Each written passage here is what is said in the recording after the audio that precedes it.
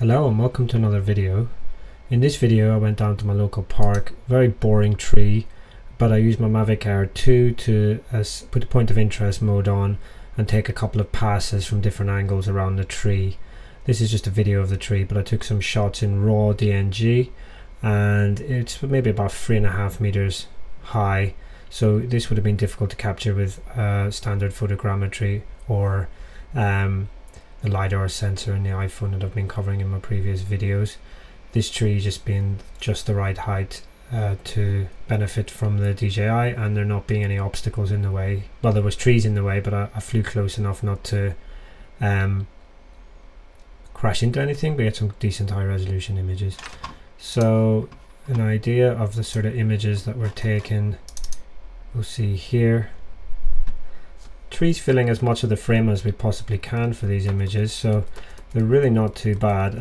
I, uh, I don't know that much about the quality of the camera on the Air 2 I know it's not as good as the Pro uh, 12 megapixel but some relatively sharp resolution here and we'll see what kind of detail came out in the photogrammetry process there. So for the photogrammetry I'm using this um, free application called Meshroom which uh, in the past I thought hasn't been up to scratch with Metashape or um, Reality Capture. But given that it's free and it's been getting some press recently, I thought I would give it a go and it actually didn't really do too badly at all here. And the texture came out quite well as well. Um, so I'll show you that in a minute in Blender and I'll go about making a low resolution version and UVing it and then either importing it in here to texture again or else texturing it in Blender itself by baking down like I showed in my last video.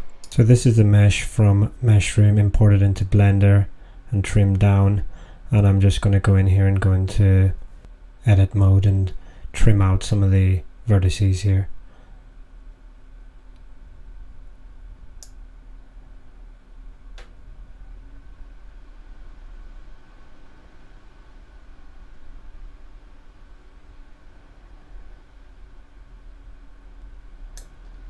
So the one thing I don't do here is move the position of the tree.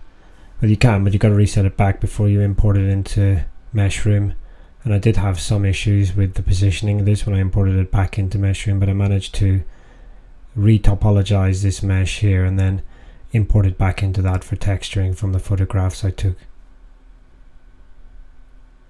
So in this next part, I'm going to open up the VR template in Unreal and make some modifications under the project settings which I'll show you in the other video for how to make this run on the Quest and start just going about here removing some of the things in the scene and then importing what I want to.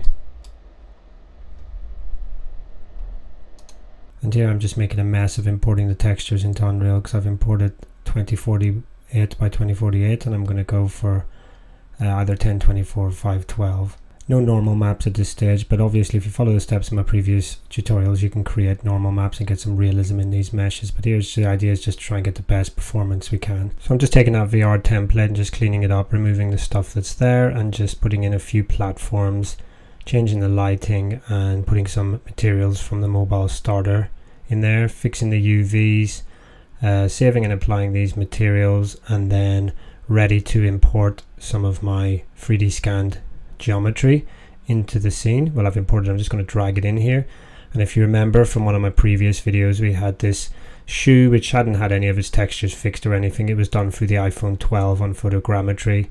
And we're just bringing that in. I haven't even bothered to scale it correctly here.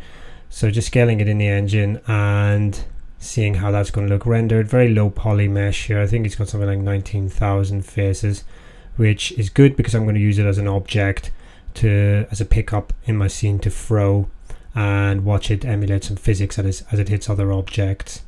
And the material there just just a texture map. Again no normal maps here just a 512 by 512 texture map. Um, hopefully it should work well on the quest. We'll see in a moment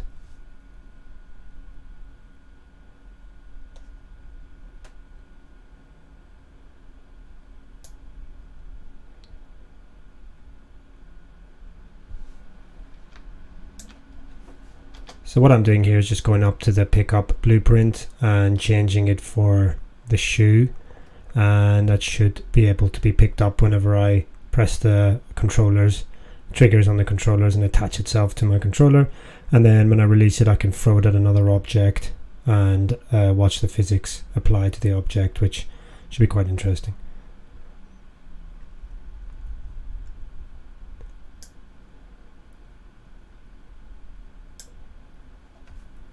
And if you'd watched any of my previous videos, I got this ugly head which I got through the iPhone um, LiDAR sensor and I actually the iPhone True Depth sensor, sorry.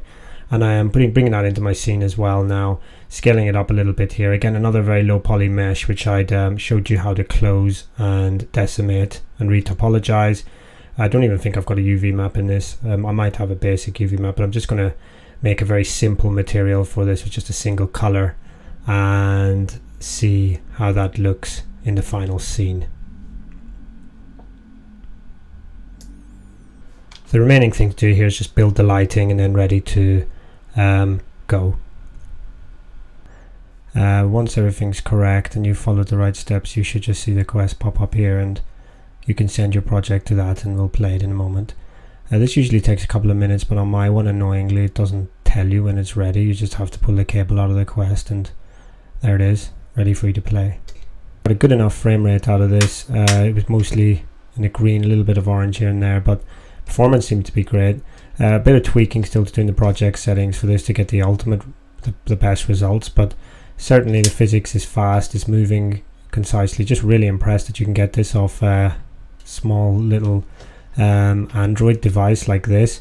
So if this is, I've had the, many of the previous headsets before, and this just is so much easier to work with than some of the others and I'm yet to see what I can do with the link cable. So stay tuned, subscribe, and um, yeah, hope to see you for another video. Let me know what you thought. Thanks.